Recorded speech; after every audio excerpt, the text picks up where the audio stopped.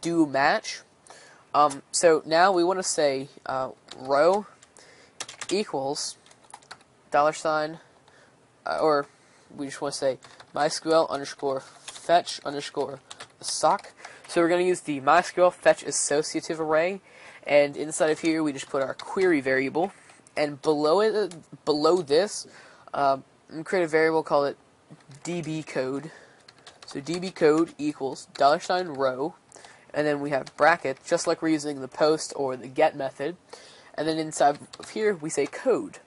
So, um, so we want to make sure that the code, um, we're, what we're doing is we're using the fetch associative array, fetch assoc, um, to get the code that's in the database. And what we're going to do, and that's how we get the code that's in the database right there. And what we're going to do is we're going to make sure that our codes match. Um, now this echo right here is going to say your code was or your activation code was incorrect. So just like that. And after all of these, I forgot the form variable. So, just like that. Okay, so um, I've already gone over my 10 minute limit, so this is just going to continue on and going to be two segments for this part. Um, so form. So inside of this if statement, we want to say if dollar sign, whoops, if dollar sign uh, code equals equals dollar sign db code, whoops, dollar sign db code. So if our codes are the same, that means we can actually activate the user. So we can activate the user. So what we want to do is we run a query, so MySQL underscore query, and inside of here we want to say update.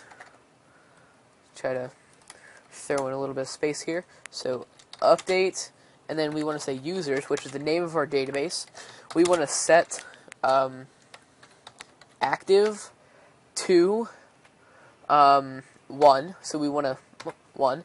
So we want to set the active to one where username equals and then username, sorry, username variable.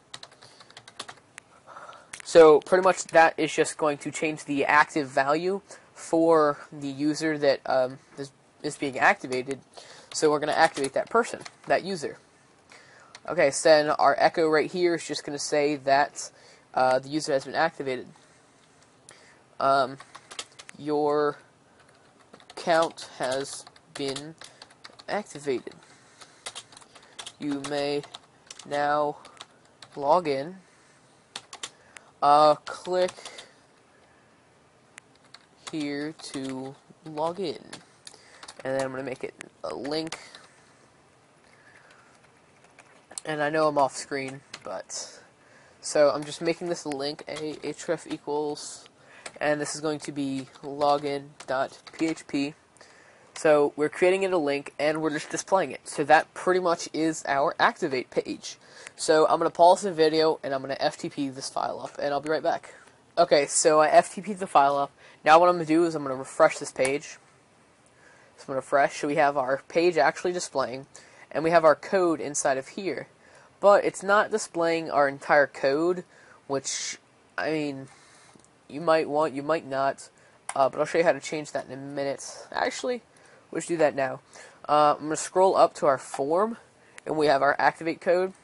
We want to set a size to, and um, eh, I'm going to change this to my activate page so I can go ahead and see the size. And I'm going to say 50, which I know is going to be really, really big. So that's that might be too big for you. I'm going to set this to, whoops, um, whoa, there we go. Um, I'm gonna say 40. See what that looks like. Okay, maybe 30. Okay, 30 is good. I think I'm gonna go with 30, and I'm gonna go ahead and just leave the other ones the same, and I'm going to FTP the file back up. Okay, so I'm going to refresh the page, and we now have our code displaying completely. Uh, so what I'm going to do is I'm going to type in my info, so uh, basixnick, and I'm going to type in my password, just like that. Um, we spelled did wrong. Um, so, what was it? Was that? So obviously it thinks we didn't fill in the form entirely, which means uh, I spelled something wrong. So first thing I'm going to fix that did right there. And so apparently we spelled something wrong. Uh, username. Password. Oh, we spelled password wrong right there inside of the if statement. Oh, I am going to just not pause it because I have a dual monitor set up and come over to my other monitor. There we go. Uh, so I'm going to fresh. Whoops. Um, I am going to copy that link, or actually, I'm just going to say that redirect to it. Okay, so I'm going to try this again. Put in my info, hit enter. Your account has been activated. You may now log in. Okay, so that concludes the uh, user activation and the email activation.